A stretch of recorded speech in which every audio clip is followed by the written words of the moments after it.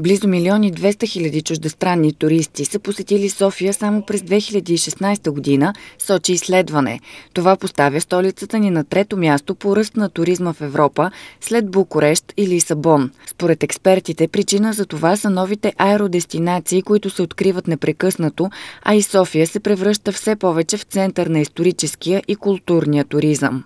Имаме изключително запълняемост и на леговата база и през уикенда. Докато преди София беше основно бизнес дестинация за бизнес туризъм, в момента виждаме уикенда да хотелите са пълни именно с туристи, които идват посещават уикенда, пролетни вакансии, лятни вакансии и така нататък. Така че София е една атрактивна дестинация, която може да, нали, може да грабне туристите с култура, с история, с, а, така, с доста развлечения из, из града, с добри цени и също времено доб, нали, добро качество за това, което предлагаме определено.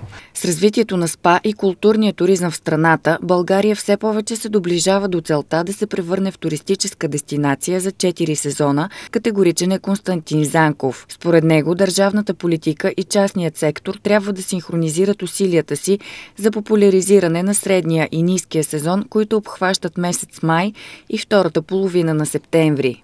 От една страна, а, нали, въпрос на, а, и, на, и на маркетингова политика държавна, а, да развиваме туризма малко по-дългосрочно, да правим, да правим определени събития, определени фестивали, да фокусираме определени форми на туризъм. Да кажем, примерно, можем да развиваме, примерно, конгресен туризъм, конферент, нали, много така форми на конферентен туризъм и на събития, на и на събитиен туризъм именно в луфтовете на сезона, в ниския сезон. Експертите в туристическия бранш очакват зимният сезон 2017-2018 година да бъде още по-силен от миналогодишния и да доведе до нов рекорд на чуждестранните туристи.